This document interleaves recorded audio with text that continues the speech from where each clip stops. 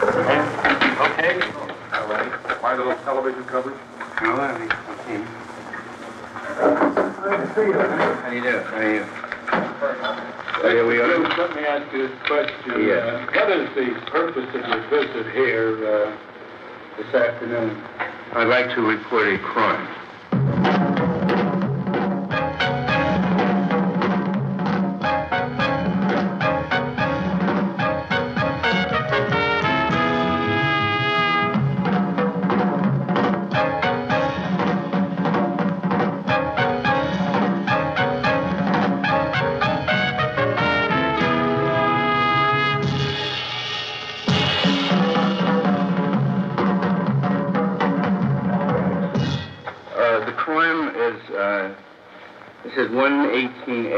118A, and this is in the California Penal Code.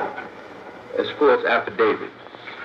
Any person who in any affidavit taken before any person authorized to administer oaths, swears, affirms, declares, deposes, or certifies that he will testify, declare, depose, or certify behind before any competent tribunal, officer, or person in any case then pending or thereafter to be instituted in any particular manner or to any particular fact. And in It wasn't a bit. Willfully and contrary Lenny was like that at the end. to the truth, He'd stopped laughing. that he knows to be false is guilty of perjury. In any prosecution under this section, the subsequent testimony of each person in any action involving the matters in each affidavit contained, which is contrary to any of the matters in such affidavit contained, shall be prima facie evidence that the matters in such affidavits were false. Lenny was a funny guy who could hold an audience with his stories. A sweet romantic.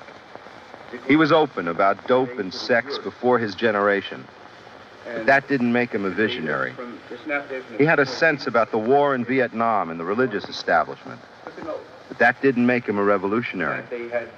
He was what he was. Now, the reason they have Lenny. questions before we picked yours is that in case the juror had heard of me and liked me, we wouldn't have a fair case here. But we like the guy, and uh, so let's give the attorney the opportunity. He said, if you've heard of him, then ask, do you like him, and to find out if there's any bias. But when they say we have never heard of him, then the questioning must stop.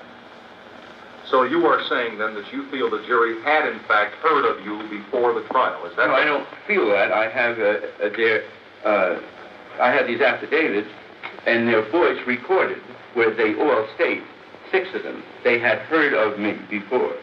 And you you feel that this prejudiced the case? No, I'm not concerned with that. I'm concerned with the fact that crime was committed. We now present Lenny Bruce.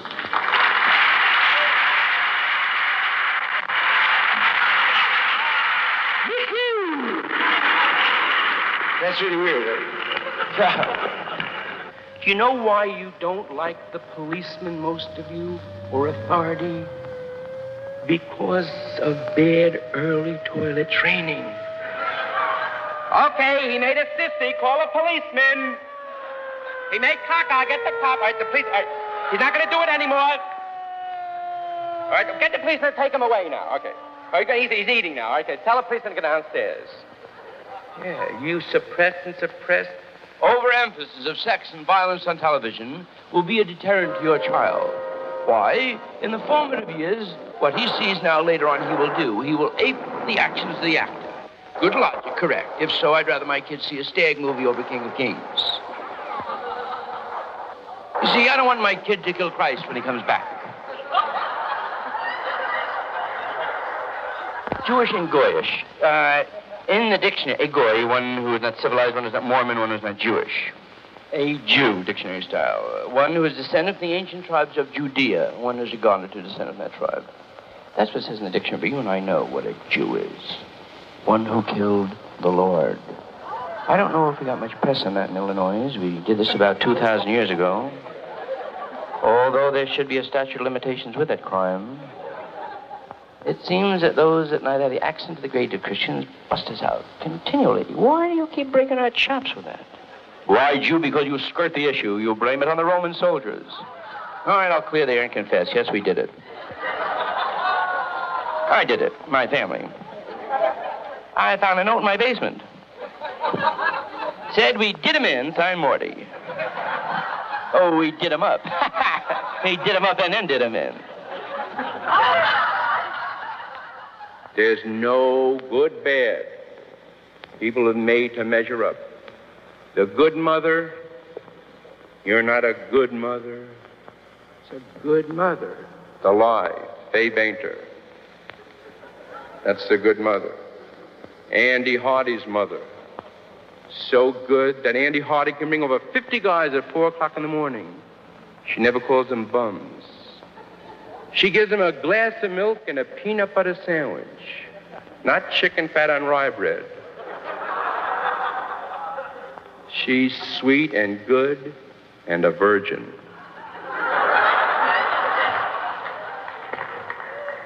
Don't you know why they don't like Americans anywhere? Because we fucked all of their mothers for chocolate bars. What's the matter with you? Do you realize that?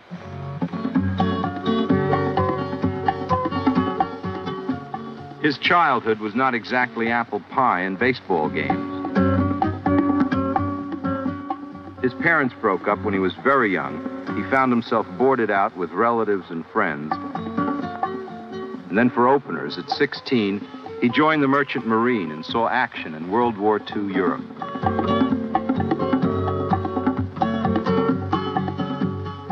Lenny fell right into that silent generation, started telling jokes for a dollar. And like a number of other cool hipsters, found himself an angle, being offensive.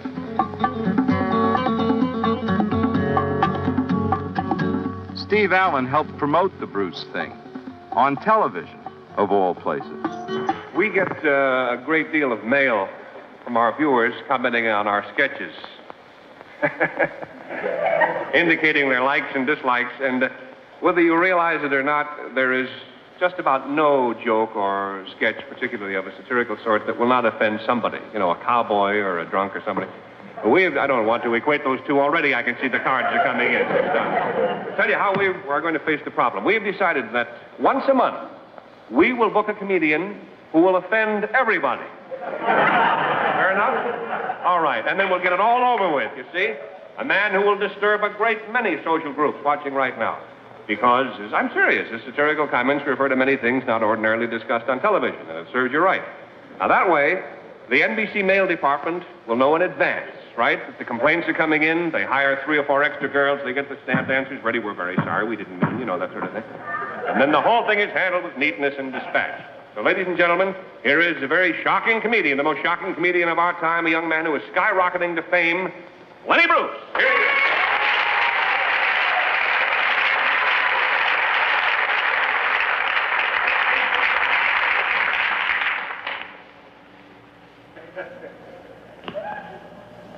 Will Elizabeth Taylor become bar mitzvahed?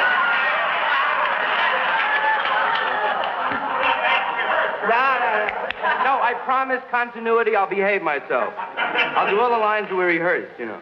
That's the thing, you know.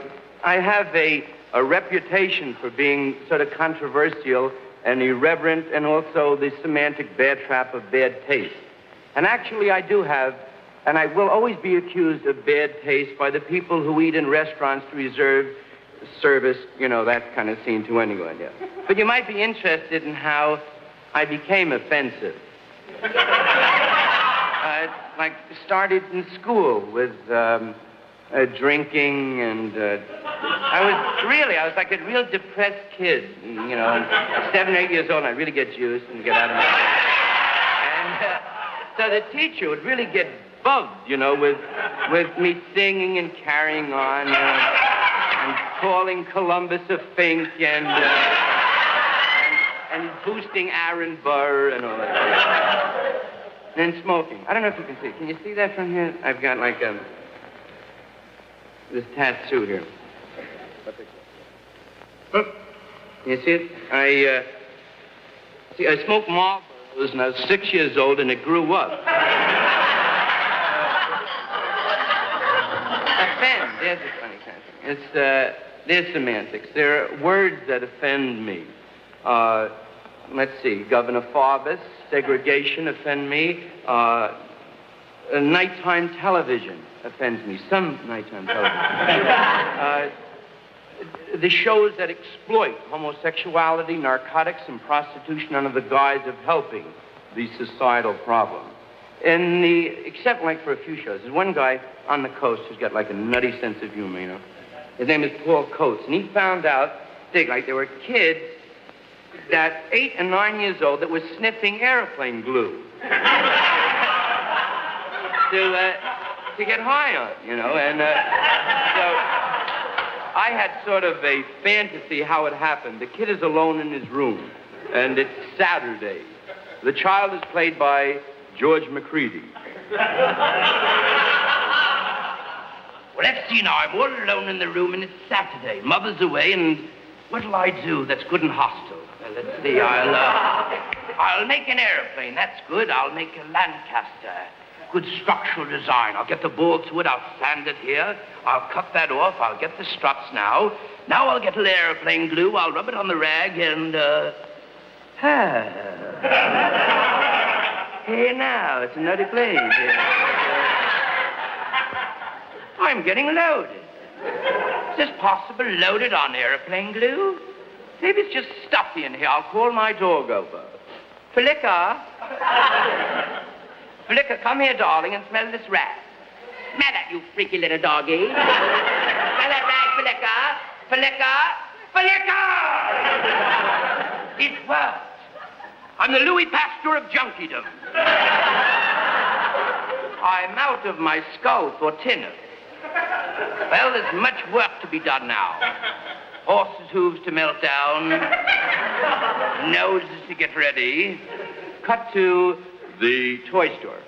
Any toy store, any hobby shop. Might be your kid who walked in that day. Ding-a-ling-a-ling-a-ling. Hello, Mrs. Schindler.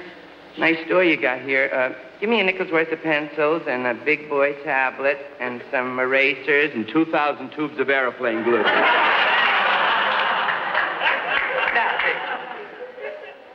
what? Let's see. A. What else offends me? Um, some motion pictures.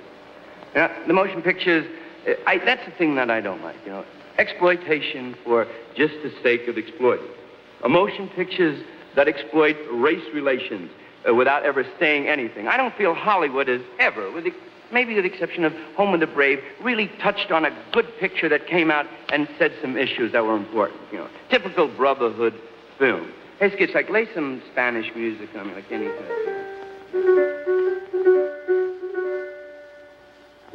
That's weird. That's, uh, Miguel, three years old. It's the hour of truth. They're taking the bull away, the bull he raised, the bull he loves.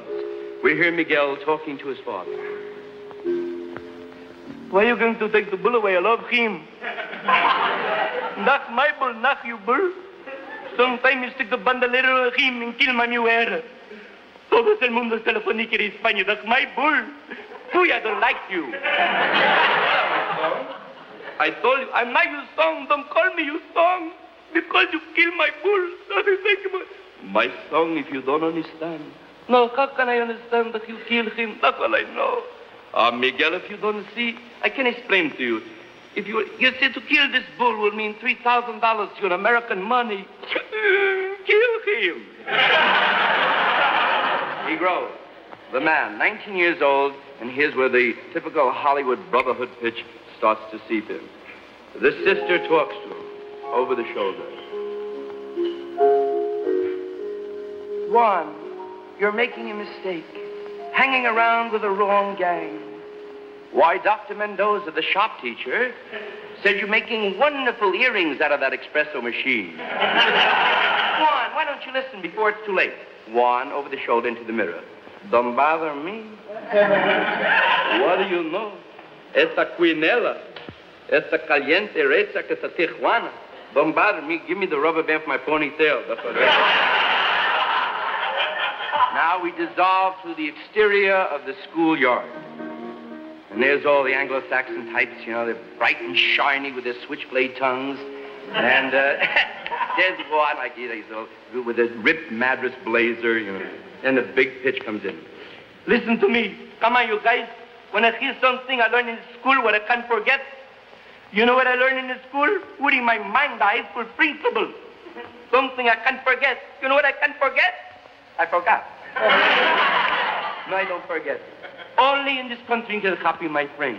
I'm an Spanish guy, okay? I'm Spanish. Phil is the polar guy, okay? Sal is the Jewish guy. There's a Japanese guy, a French guy. My friend in this country, we all have to stick together and beat up the Greeks. Lenny was just a nice Jewish boy at this time.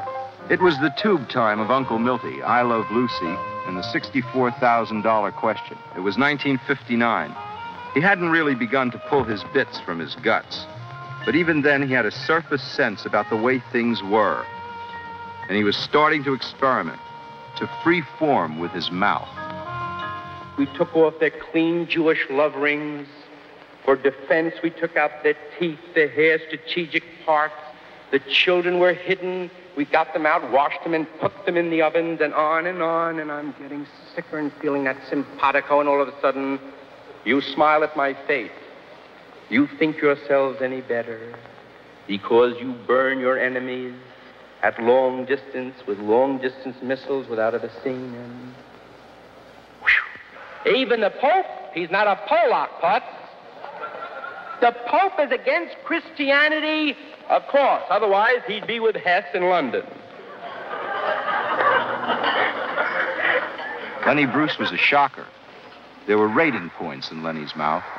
So Lenny was propped up again, under the watchful eyes of the television censor. I don't know what critics you've been reading, unless it's the Watchtower. I, I purposely, you know, you did, I didn't, you know, I had a different kind of opening, but when I heard that in the, in the thing, the rehearsal about these scripts, I ran out right away to the critics to get some reviews that I'd say this. This is one review after I did the last show. Uh, the Bad Taste Award should be given to Lenny Bruce, who outshuttered every other comedian on television this year. Okay, now another nice warm review. Okay, his uh, flat joke about don't mail me uh, the money, wire, wire the money was very unfunny. And that's kind of funny because I didn't even do that joke. But then finally, a newspaper with some integrity came forth. And uh, last night, a star was born.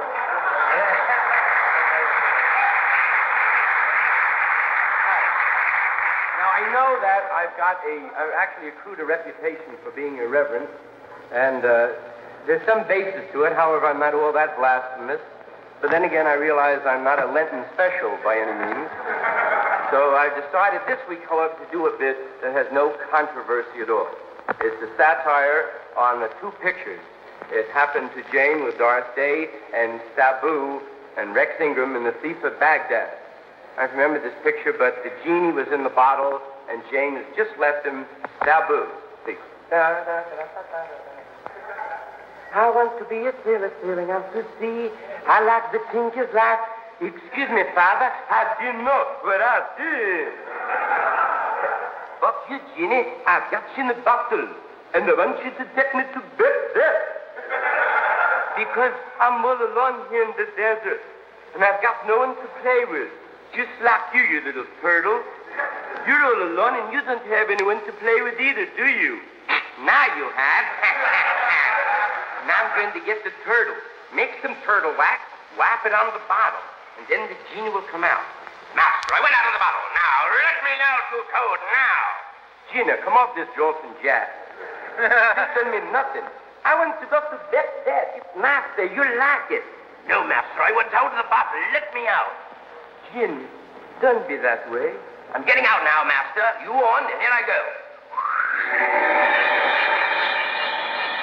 You did it. You are the biggest genie. You something else, baby. Have never since that you, you know something? I like you. You're my kind of people. Some of my best friends are genies. We have the house for dinner. Nice. sir. Too late, little master. Too late for the milk and honey. Just as yours, a wondrous gift with my big toe. No, don't lay the fungus on me. Look, forget Beth death. We're going to Tijuana. No, no, that's it. Suddenly we dissolve. The proximity, the propinquity change. The genie is back in the bottle. But this time in the back of an old sort of European drug and candy store in Chicago. On Rush Street, the old owner, Leonard Solomon, is cleaning up. The genie is in one of the bottles, unbeknownst to the owner. Shangze dili bune. Bun himmela. Hmm, I never saw this bottle before. It's dirty. There's a cockroach in there something. Clean it up and... Who are you? I am the genie. You come from this neighborhood. Wondrous man, years ago, Sabu got me hung behind the Sanka hockey scene. You have let me out. Now, any wondrous wish is yours, old man. Quickly wish. Well, I'd like to go to Atlantic City. Don't you understand? It's me, the genie. You ask for something desirous. There you're from. I'm from the desert. I saw you the Sands Hotel in Las Vegas. no, old man, no wish. That's what I want, Atlantic City. Very well, old man, you shall go there. And he was there, just like that. Now, Dick, the genie is taking care of the candy store. And he's really doing a wonderful job. He brings in the guests, lots the Mary Janes, the onion rolls, the whole bit. Now, the old people start to file in in the morning. Look up, there's the genie behind the counter. That's all. He went to Atlantic City. You're Esther's cousin? Madam, I know not the dialect you speak. I'm the genie, and I'm taking care of the candy store. You can take the candy store.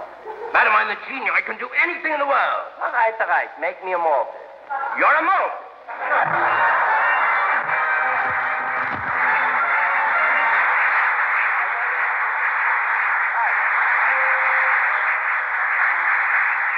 I'm going to. Anyway, I'm going to do a bit now. You know, I did uh, part of that on an album I did. I did a couple of albums, and uh, naturally, most of the humor is too irreverent for television. But uh, this bit concerns that when you do albums, you have to do sometimes DJ interviews. So I got a little bit here I'm going to do with Steve. I'll be the cat who's going to interview. Steve is the DJ. Steve, going to do the thing. Yeah, all right, man. Bring in my this jockey equipment here. Turn on the square button. Before we have our first dance, the Hot Baby Rock done by the Switchbladers, we'd like you to meet our first guest this evening, Ralph J. Gleason, the most talked about jazz altoist of the year. Come on in, Ralph. Ralph, nice to have you aboard, fella. Well, I good to make the scene, sweetie. Like, you know, like I'm hippo with my Zippo ladder, because you down, you're really a natural freak, baby. it's too much, you know. I, uh, I'm sure a lot of folks would agree with that philosophy, but uh, to a more definitive analysis of your personality, well, like, don't hang me behind any political scene. what? Well, like, you know, don't, like, mix me up with your nitwit scene, you know. I, uh, I understand, uh, Ralph, that you're one of the most amazing and brilliant musicians of our time. Well, like, if that's what they say, baby, swing, you know. Tell me, how long have you had that peculiar condition with your neck? I noticed your head keeps falling off. That's swinging, baby. Is that what it is? That's doing All thing, you know. Start your collars. Now, tell me, do you find that you are criticized by your peers in speaking the jazz idiom? Well, like, uh, who's to say what's normal, man? Oh. It's just like what them great uh, jazz poets like Ira Gitler, Nat Hentoff, uh, and uh, Lawrence Marble, Kenny Drew, and Leroy Vinnegar, Miles Davis, and uh, and uh, Herb Caen, just like what all them cats say, man. And what do they say? I don't know, but I dig dropping all them names. Yeah. Ain't that too much? You I- wild, you wild. Yes. Swear. Oh, thank you. I'm something else. So, now you are rather young uh, to have the title the most amazing musician of our times. Tell me, how old are you? Uh, 28 years old. Hmm? And how long have you been in the business? 35 years. Wait a moment. You are 28, and you've been in the business for 35 years? That's why they call me amazing, baby. Ain't that too much? well, that's uh, that new style. You don't seem to be representative of the average musician to me. I'm not a musician, man. I play bongo. Oh, I see. Good spritzer. Yes. Where do you get most of your inspiration? Uh, wheat germ. You eat wheat germ? No, I smoke it. Oh, I see.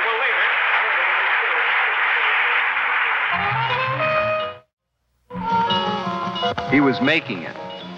Television got his name around, but it was in the back rooms of jazz joints that Lenny came to be an in name. Lenny hung out with the cool and the modern.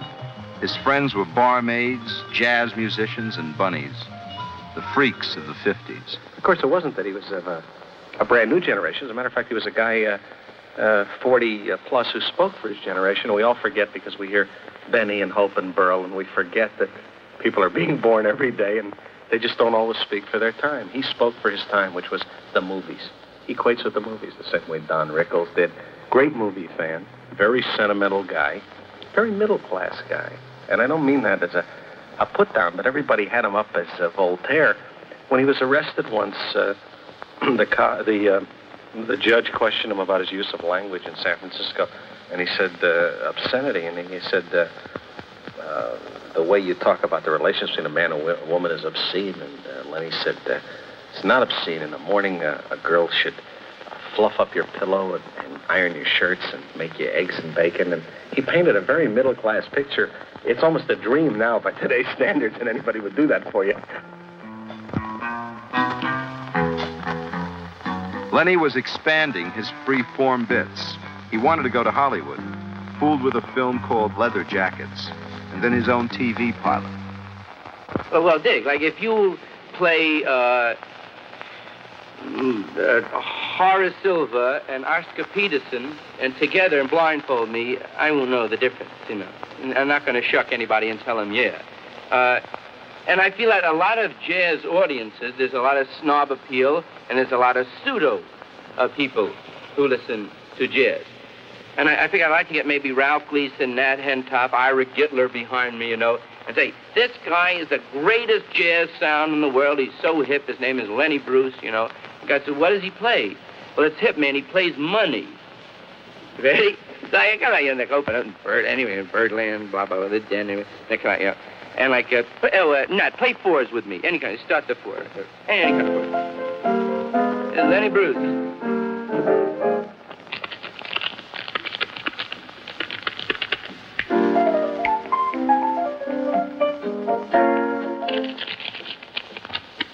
And they go, wow, it's too much, man. He's wild. He's out. this is an album I did for Fantasy, and it's called The Sick Humor of Lenny Bruce. Uh, now, there's another thing with semantics. Uh, there are some pretty far out uh, uh, bits on the album. Uh, my humor, there's never any scatological references to it. I don't do any motel jokes, in other words. Most of my humor lies in the ludicrous or, you know, being just out and out irreverent. However, and, and, and as I say, there's so actually there's a lot of truth in the album, uh, but nothing sick, except one bit is good and sick. So I figured, you know, that I might as well be honest and do the one sick bit that's on the album. And also, it depends, Sick, what your point of view is. And it concerns John Graham Greene. Uh, John Graham Greene is a guy, I don't know if you remember him, he uh, blew up a plane with 40 people and his mother. And uh, for this, the state sent him to the gas chamber, proving actually that the American people are losing their sense of humor. When you think about it just for a minute, anybody who blows up a plane with 40 people and their mother can't be all bad. Even cranky or something. So I like, uh, how it happened back to the airport. United Airlines paging a passenger, Sylvia Green. That's United U-N-I-T-E-Y. In case we get sued, I just thought of that. Okay. Unity Airlines. Cap on that. Okay. Unity Airlines. Uh, uh, paging a passenger, Sylvia Green, to the flight desk. Will a Sylvia Green report to the Unity Airlines flight desk, ticket desk, information counter. Grand Concourse now loading for gate 31 for Hawaii and the Philippines. Will a Sylvia Green... Come on, Morgan, it's the plane. Come on, you old freak. Move it there now. Hurry up. I don't know why you want me to fly all of a sudden. I'm telling you, you're going to get claustrophobia all closed in up there. Don't worry, Mom. You're going to get a lot of air. Uh, that's a good part for Elisha Cook. That's right. You a lot of air. All right. Okay, now you cool it, mine. I got a wonderful game for you to play before you get on the plane. Games? I love games. You love this one. It's called Fill Out the Policy. Come here, Shrike. There you got That's out. Okay, now I've got another present for you. And I don't want you to open this up before you get on the plane. Close your eyes. I'm put it in your pocketbook. It's a music box. Yeah, you'll get a good sound. Uh, it's a whole Riverside album. It's really sweet. So you'll like it. All right, now. You be a good girl. Don't talk to anybody. And now the takeoff. Ding ding ding ding ding ding ding you ding ding ding. You believe First stop, Armageddon, sweetie. Fling ding ding ding ding ding Good evening. My name is Mr. Stevenson. We're cruising at 450 miles an hour at 600 feet above sea level. If the passengers would like to look over the left wing of the plane is the lovely island of Catalina. And to the right, Guam. Well, I don't know what to tell the passengers. This isn't really my scene. I'm a manicurist. But if, uh, if you want any chiclets, like we're hung, we're out. I think there's a jelly donut in the icebox. Well, anyway, swing with the magazine. We've got two Liberties and one Arizona Highway. All right? Now to the controls, you're your captain and a co-pilot.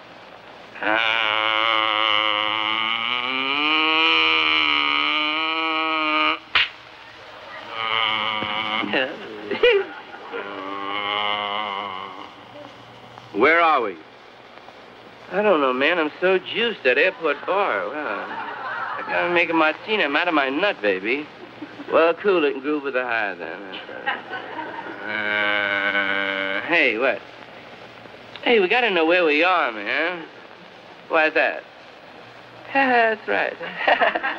you got a nutty philosophy, baby. That's it. That's something else. Yeah, what's the difference? They're lucky they get anywhere for $79. Uh, hey, what? Hey, what's that thing like uh, you're always grabbing there? That moves the wings, man, like, and does the thing like that. You're putting me on, right? Now, that's the scene. Is that, where did you pick up on that bit? Smiling Jack. That's really weird. I always thought this smart, right? It's a movie. All right, you'll do it on the ground. Don't ruin it now. You ruined my armature and everything. Uh,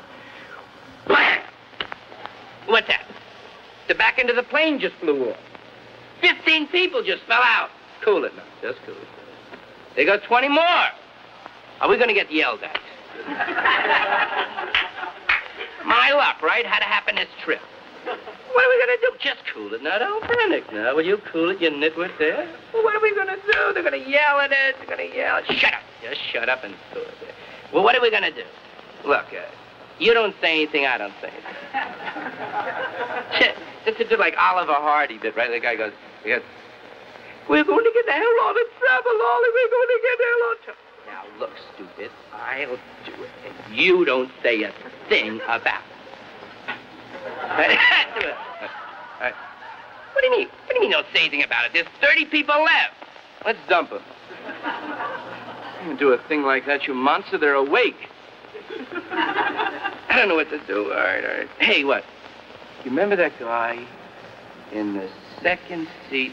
The guy a real stalker. He was coming on. He knew a lot about planes, and he was dropping a lot of big words like wing and propeller and everything. Yeah. Well, like, have him come by, man, and, like, we'll do a thing, you know. No, no, no, it ain't happening that way. Call him up for me. All right, switch on the intercom. My name is Mr. Stevenson. Will you shut up with that, you nitwit? Everybody knows your name, moron, and stay out of the icebox. Hurry up and get that guy up here. That's right. He knows all about the plane. All right? Sir, would you help us out? They're cranky. Some people fell out of the plane. I don't know what's going on. I'm sorry I took this gig. It's boring and everything. Would you help us, please? I certainly will. I'll help anyone who's in peril.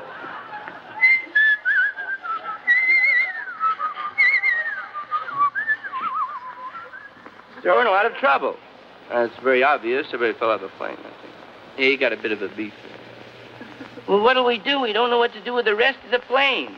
Well, we could put cafe curtains. Will you shut up now? Just shut up, nitwit. All right, come here. Well, it's obvious that um, you've stripped the plane of everything. You're going to have to ask for volunteers. To what? You know. Hey, what are you, are you nuts? They're the Three Stooges, but hey, Curly, pop, Moe. Hey, what are you, are you nuts or something? I can't ask you to jump out of a plane. Well, you'll have to. Something has to happen. Well, I can't ask him, and I can't either. Let me ask him. I know how to talk to people. Solid. Be my guest, man. Good evening, everyone. I got a surprise. It's jumping time. I know you people have been satiated with so many of the Hollywood themes where the captain and the co-pilot jump out to save the passengers. Well, like it's not happening. I don't want to bug anybody, but let's split. Anybody now. You, the old man. The old railroad man. No, please, I just got my watch. Ah! All right, with those Gene Lockhart bits, shut. Hey, what about the kid? Oh, yeah, the kid. He ruined the walls with the crayons, yeah. Get him. He's sleeping. That's beautiful. Okay. What's the release of that? Shut up with the tune and do the bit. Sonny, Sonny, wake up. Wake up there. Wake up, Sonny. Where's my mommy? Where's mommy? Right out that door, Sonny. It was a flop. Lenny didn't belong on television. He made it on college campuses and jazz joints. He was a stand up comic who needed freedom.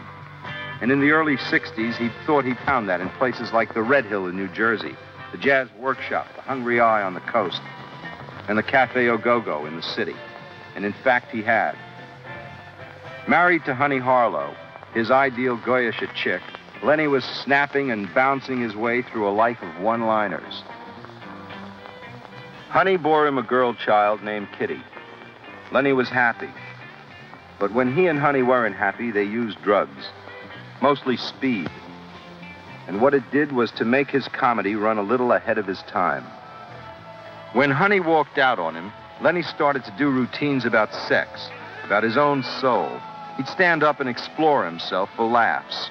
And when he did it in front of the right audience, his performances rang with truth and beauty.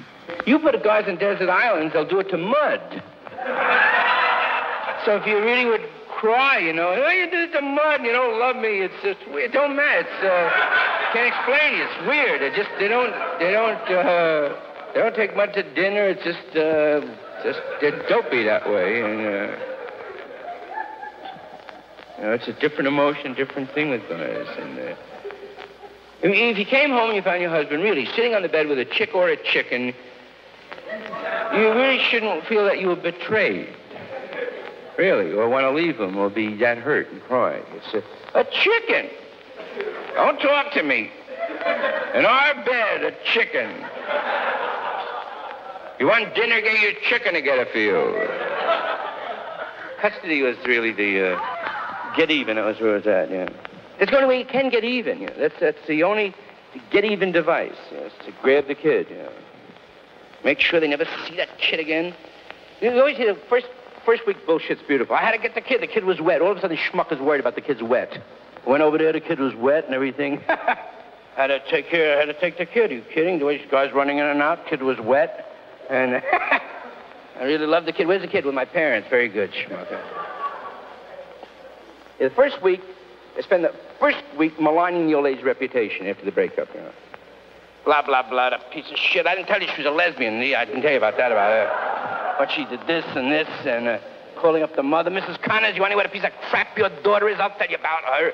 And they really laid such a good foundation of such poison that when they go back together, the friends don't want to talk to her anymore. yeah.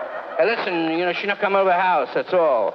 And she does paper cups, what you told me about her, you know. It's, uh... Yeah, so... so now guy went to see the chick, you know. He, uh, he misses her. Hello, Vera, listen, the only reason I called you, you left some of your crap over here. I don't know, a hanger or something. Or something. Maybe, maybe it can be reconciliation, kissing time, hugging time. Very critical time is in bedtime, after bedtime. Listen, uh, Vera, when we broke up, did you make with a lot of guys? Don't be silly. That's all you got in your mind. Ah, I, look, I don't give a shit, you know. Listen, we were legally separated. You know what I mean? I made it with a lot of chicks. You're entitled to make it with a lot of guys. It's just like no for the hell of it. Did you make it with a lot of guys?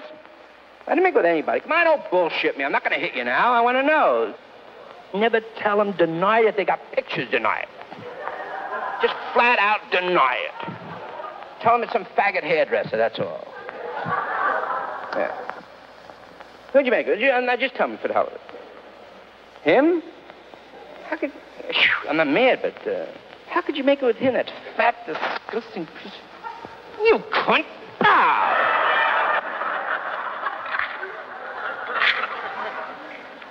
I first saw Mr. Lenny Bruce in San Francisco and was puzzled. I then saw him in Chicago and was intrigued. I then saw him in New York and was slightly scared by the nakedness with which this performer revealed himself. And then I began to laugh, to laugh at the wildness of one of the most bizarre imaginations that's ever been let loose on a nightclub audience. And I've been laughing ever since. Now, of course, I'm in a minority there because I think Lenny's is, uh, Myers always will be. He goes out to do a rush job of psychoanalysis on the audience. He goes out to root out their deepest inhibitions, their deepest repressions, all the things they're scared of, the things that are never talked about, and holds them up to the most relentless scrutiny, analyzes them, tries to force the audience to come to terms with reality, actual, unspeakable reality. And this is a hard thing to do anyway, and it's even harder to keep it as comic as he does. He will say, lung cancer is a bad thing. Therefore, surely, tobacco ought to be prohibited, and instead we ought all to um, take part, as he would call um, marijuana, um, since it does not cause lung cancer. So by taking a perfectly simple statement, lung cancer is an evil, he would have us all smoking marijuana instead, by a sheer, sheer logical argument. Similarly, he will hold up four-letter words and say, the fact that I say this word does not mean I'm going to do it. I'm, it is simply a word. It's a sound I am making. Why are you all so scared of it? Why does it offend and outrage you? It's simply four letters. How can any sane, civilized human being be scared of four letters?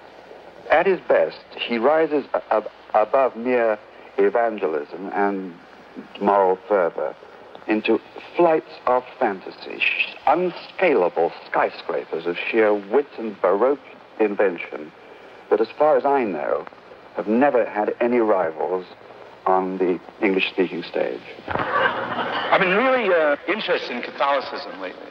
It's like there's more churches and people work for the church than I think there are uh, courthouses and judges. So actually what it is, Catholicism is like Howard Johnson. And what they have are these franchises. And they give all these people different franchises in the different countries, but they have one government. And when you buy the Howard Johnson franchise, you can apply it to the geography, whatever's cool for that area. And then you, you know, pay the bread to the, uh, the main office. And you have to, you know, keep a certain standard, which is cool.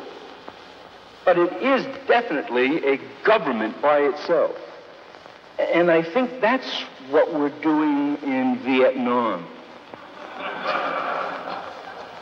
Because the communists are a threat to those jobs. That's where it's at. You know? And, and I think that's what it's always been, that those two factions are always bitching and fighting with each other. And so actually we have the Catholic government inside our government, and they have this bitch with the communists because they're always fighting over the work, you know, and then they, when they take over, they do them out of the gig. So what happens is that, because you know, Catholicism is like, is here, and the people who work for it are here. And that's another big problem. The people can't separate the authority and the people have the authority vested in them. There was no question who wore the robes of authority in Philadelphia. Lenny's first bust was in the city of brotherly love. It was a drug charge without a chance of sticking. He won the case, and years later, the trial judge was dismissed from the bench. But what really happened, what really went down in Philadelphia, was that Lenny Bruce had been identified as sick. In two years, he was arrested a half a dozen times across the country and banned in London and Australia. Something was happening. It was more than just saying fuck or cocksucker. Still, Lenny believed in the courts, believed he would be vindicated. In his routines, he began to examine the arrests and the people who were arresting him. He hadn't thought it through. He didn't know what was really happening. But somehow, in front of an audience, his mouth running ahead of his mind, he said it. And he spoke to a college generation that was just beginning to know. Such prejudice, and same in Philadelphia. The Saints want to dig what the judge said, but this was an obvious payoff. It was a complete bribe, bust out counterfeit. This cat says, uh, as soon as I, I sit down after the intro, this looks like a sinister character to me. Wait, wait, that's Ronald Colman, that's the judge. I have heard the case, and I must go into my chambers and deliberate. There are many humanist issues here to decide. Raymond Massey, he's the DA. That's what screwed me up. Lenny had become a target. Wherever he appeared, police, peace officers, he called them, sat up front. In San Francisco, in Chicago, in Los Angeles. They'd listen to his bit, bust him, and then they'd do his act in court. Badly. I must say that I think that bringing this action against Bruce is completely absurd, especially in the town of Chicago, which is uh, presents to the um, innocent visitor uh, an array of vice at its most squalid and uh, awful uh, for money. And that in a city in which all that is tolerated, a city famous for violence and, and uh, corruption, to pick on this um, nervous, chain-smoking, uh, neurotic uh, moralist and, and, and blame him for obscenity uh, seems to me ridiculous. If I might summarize it, you know there's an impulse in all of us. We have a hollow tooth. We can't resist putting our tongue into it. Uh, it, it, it, hurts, but we, we keep on doing it. Now, I think that um, Bruce's particular sort of comment on life, this sick humor, is a tongue in the hollow tooth. A tongue in his own hollow tooth as a man, and a tongue in the hollow tooth of a sick society. If society is sick, you can't really blame a person wishes to comment satirically on it for producing a sick commentary.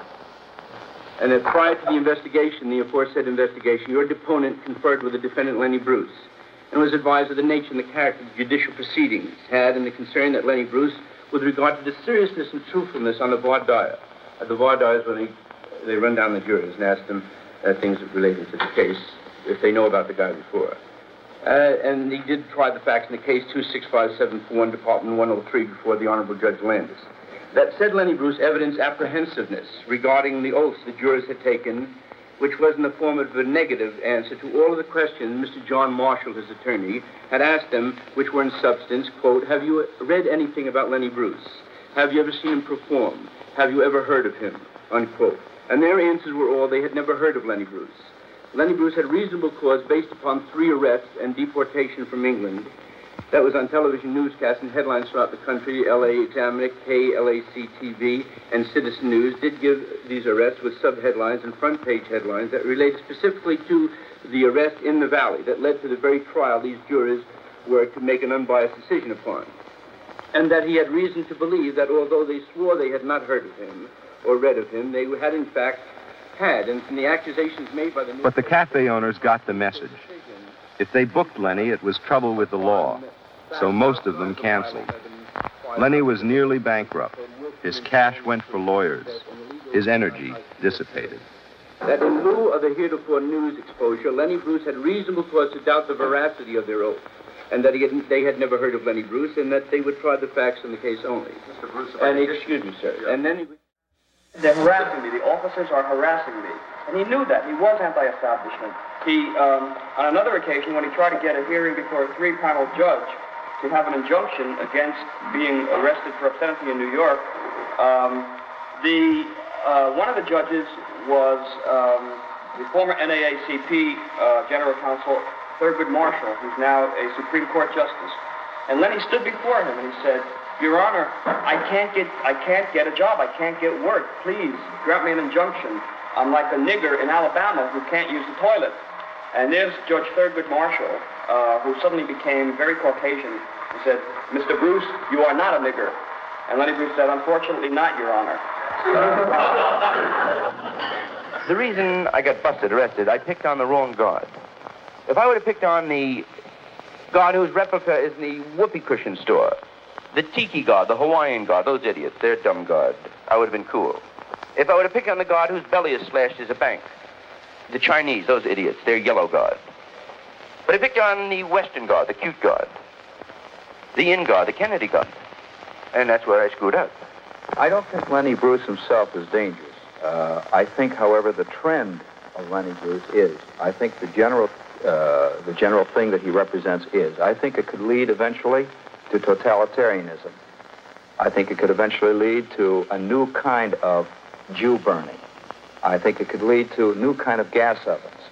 Uh, the gas ovens and the new Jews, of course, being the unhip, uh, those who dared to say that they did not uh, particularly admire Bruce or his type. Uh, in short, it's going to be the great war of the sensitives versus the insensitives. And the insensitives are defined by the sensitives. And I think in the end, it could be a very, very interesting problem that will result. Uh, If, if our world continues to become more and more complicated and less and less easy to cope with by the individual. Then the big bust in the Big Apple, 64. Cafe Au Go Go in New York City. Frank Hogan, the Manhattan District Attorney, Mr. DA, had had enough. I sometimes wonder what has happened to our moral values. Lenny was in trouble just as he was beginning to cook. He had been honest, free, an aware man, and now he was on the run, firing lawyers, involving himself in his own defense, forgetting his craft of comic drama and expression. Martin Garbus, his final attorney, was with him in New York. Bruce said a lot of things about the Catholic Church, about obscenity prosecutions, and about pornography, all of which was very close to, to home with Hogan. If you may remember, in 64 and 65, New York was in the midst of a pornography, uh, anti-pornography wave. You had something called Operation Yorkville, uh, Father Hill and Rabbi Neumann, who had formed a very strong pressure group, and they were calling Hogan fairly constantly. And as a matter of fact, there were many set-up cases that Hogan's office had been involved in. So I think that they just overreacted to it. And the fact that it really was only a misdemeanor prosecution makes it harder to justify the many months that were spent on the trial, makes it harder to justify the great cost that the state went to, and makes it harder to justify a sentence of four months in this case. The traditional misdemeanor case for a guy who's convicted for the first time, there's never any possibility of a sentence. In the traditional misdemeanor case, uh, I would think the average trial time is anywhere from 10 minutes to an hour. And here was a case that went on for months, and here's a case where a guy got four months in the workhouse. And the mitigating factors in the Bruce case against the guy being prosecuted, his financial condition, his emotional condition, were very high. Assuming the guy was convicted of every, every possible charge, he shouldn't have gotten a minute uh, of time. Yet they gave him four months. Well, there, there was there was community pressure, uh, and there was public pressure, uh, in the sense that the overwhelming percentage of the population, Middle America, the silent majority, wanted Lenny Bruce prosecuted, and they wanted him punished uh, because his words were offensive and because his ideas uh, hurt the establishment and uh, wounded the establishment. He said things uh, that the establishment didn't want said, and for that reason, uh, I feel that uh, there was a there was a compulsion to to prosecute him and to punish him, and we did. He, he didn't he didn't harm anybody. He didn't commit an assault. He didn't steal. Uh, he didn't engage in any conduct which directly harmed someone else. Uh, so therefore, uh, he was punished first and foremost because uh, of the words that he used. Well, you're, you're saying you feel that now. At, at the time, how did you feel? Well, at the time, I, I was given a job to do. I was wrapped up in the prosecution of it, and uh, uh, therefore uh, I was oblivious of, of uh, some of the things that, that we were doing uh, to him personally. Would you do it now? No, no. I wouldn't have anything to do with his prosecution now. But Lenny said, you know, I really don't want to be the great wounded bird, uh, flying, trying to, to break through these these these uh, these weights, and so that we can bring free expression to everybody. I'm a guy who has to work, and by then, of course, he was bankrupt. And both the, the literal monetary bankruptcy and, and the great spiritual depression. I think the most poignant part of that whole case was um, at the very end, when after unsuccessfully trying during the case to have Murtagh and the other justices listen to him do the act for which he was being penalized instead of listening to a, an undercover man who could barely understand his own notes reproduce the act badly, Lenny finally, in the last time he had a chance to talk to Murtagh, pled with him, begged with him. Let, listen to me. Listen to what I'm being accused of. And Murtagh, with his customary compassion and understanding, uh, insisted that he sit down instantly. And the whole thing, uh, you know, the whole thing weighed on Lenny enormously, and he left New York City, if I can use the cliche, broken.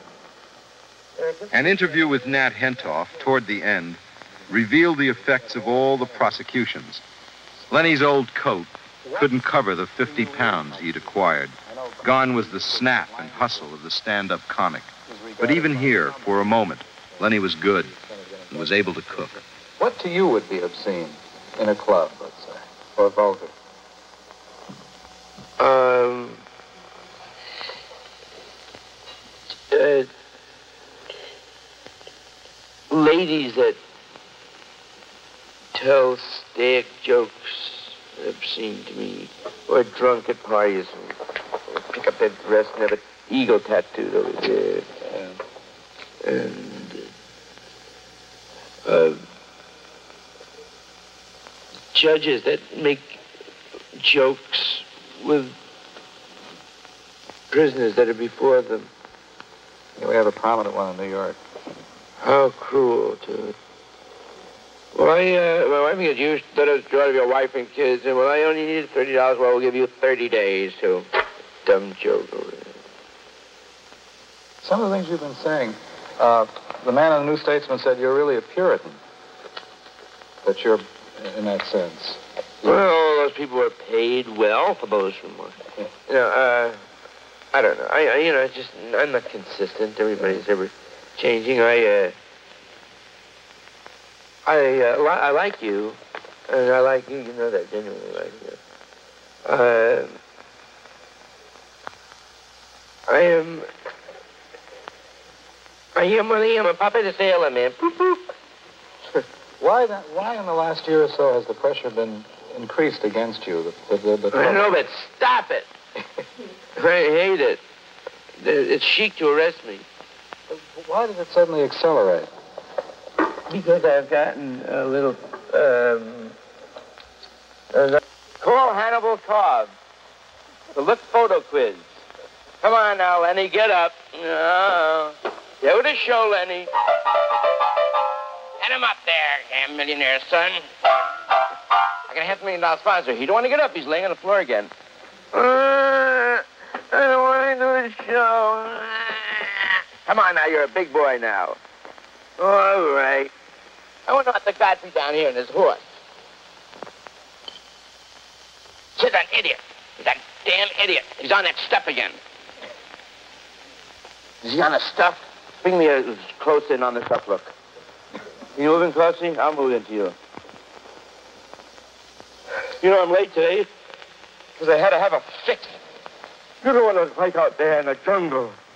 Out there in the jungle and just get up in the morning and knowing that the, the connection's coming to give you the stuff. Give me the stuff, all right?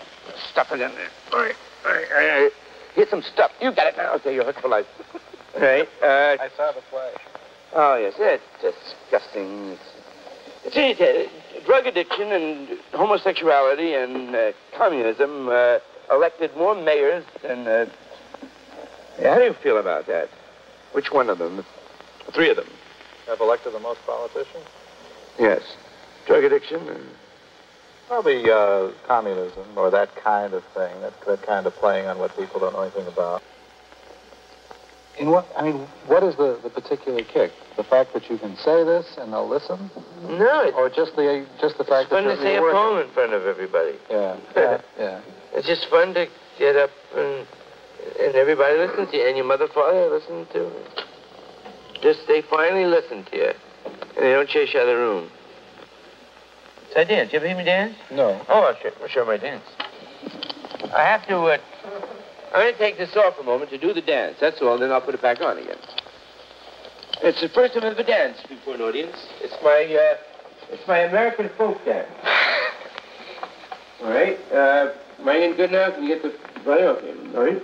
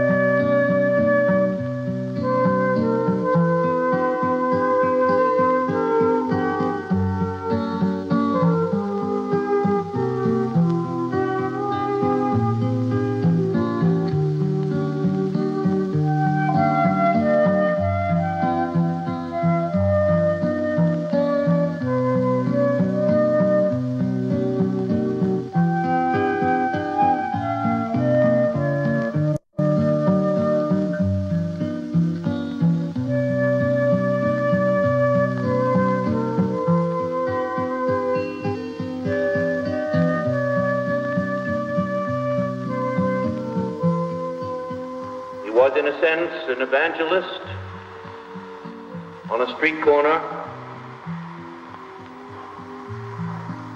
He was a man uptight against an artificial world who shattered its facades and its hypocrisy. If you will pardon the the phrase which seems to become a cliche. He saw life as it is.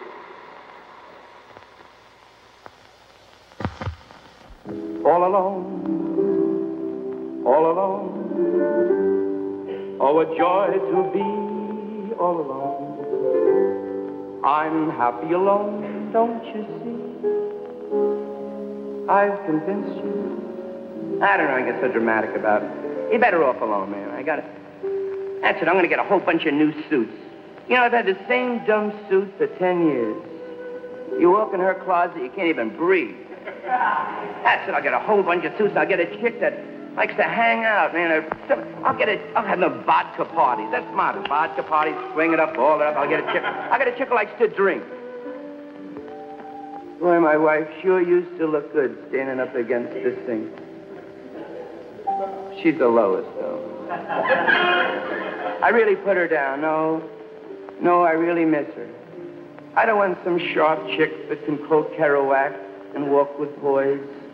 I just want to hear my old lady say, get up and fix the sink. It's still making noise. All alone, all alone. Like a near-sighted dog wears the bone.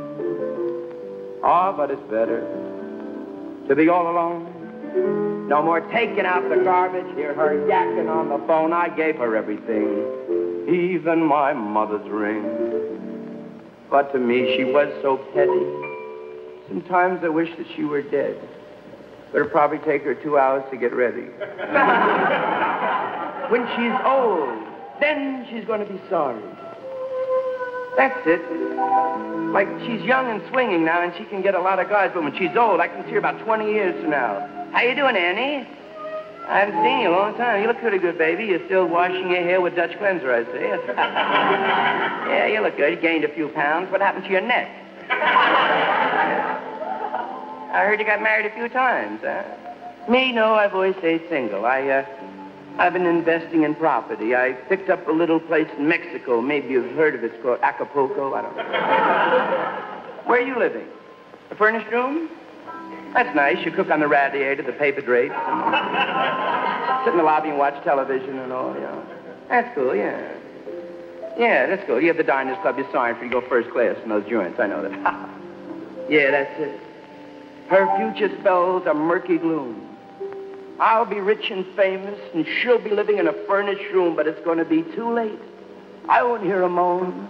I'll be living in my Nob Hill mansion, rich and all alone. All alone. All alone. I'll be rich, but so all alone.